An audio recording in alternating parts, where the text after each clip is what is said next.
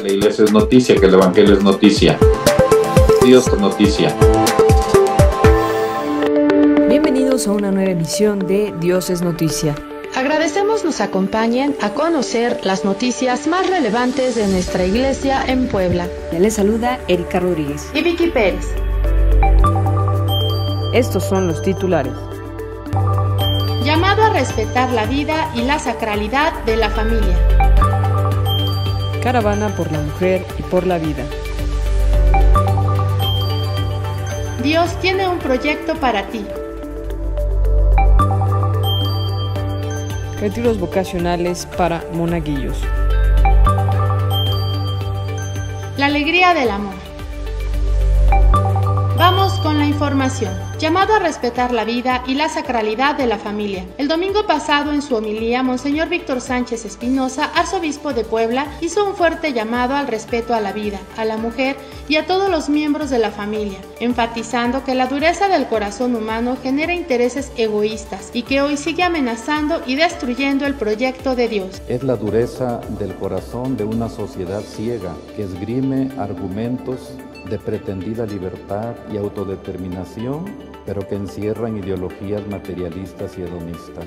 Es por esa dureza del corazón de la que habla Jesús que se atenta contra los valores fundamentales y sagrados del matrimonio, la familia y la vida, argumentando que se trata de conquistas de la libertad. Hoy estamos presenciando la dureza del corazón de legisladores y gobernantes a quienes no les importa el valor sagrado de la vida. Promueven y aprueban leyes que destruyen la vida desde sus inicios y propician que corra sangre inocente que clama al cielo, llamando interrupción legal a quitar la vida a un ser indefenso.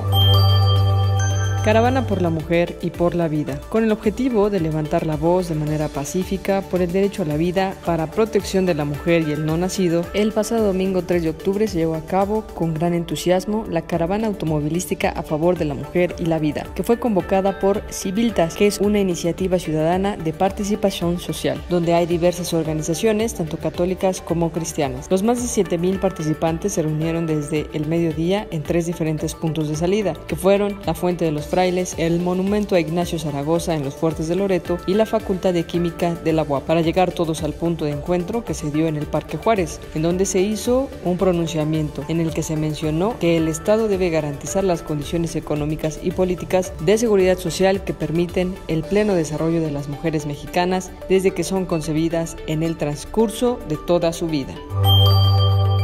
Dios tiene un proyecto para ti. Los padres franciscanos capuchinos que están a cargo de la parroquia de la Preciosa Sangre de Cristo invitan a jóvenes varones a discernir y reflexionar sobre el plan de Dios en sus vidas en los próximos retiros vocacionales. El primero se realizará en Puebla del 8 al 10 de octubre y el segundo en La Piedad, Michoacán, del 15 al 17 de octubre. Si te gustaría participar o conoces a algún joven que tenga esta inquietud, pueden solicitar más informes al número 5590 036 185. Retiros vocacionales para monaguillos, con el objetivo de profundizar en el significado de los sacramentos de tal manera que puedan auxiliar al sacerdote de manera eficaz. Reba Puebla convoca al grupo de monaguillos adolescentes que ya dan servicio en alguna parroquia de la arquidiócesis a su próximo retiro mensual de formación, el cual será transmitido por la página de Facebook Reba Adolescentes Puebla, a partir de las 12 del día del próximo sábado 9 de octubre. Si te gustaría ser monaguillo, puedes acudir a tu parroquia donde te darán más información la alegría del amor. El Decanato de Santa Teresita del Niño Jesús, que pertenece a la zona urbana, nos invita a participar de una serie de reflexiones por medio de la plataforma Zoom a las 9 de la noche, que constan de varias charlas gratuitas sobre la exhortación apostólica Amoris Laetitia, en la cual el Papa Francisco escribe sobre el amor en la familia. Para más información e inscripciones debes llamar a los números 222 4 111 601 y al 2226 708 796.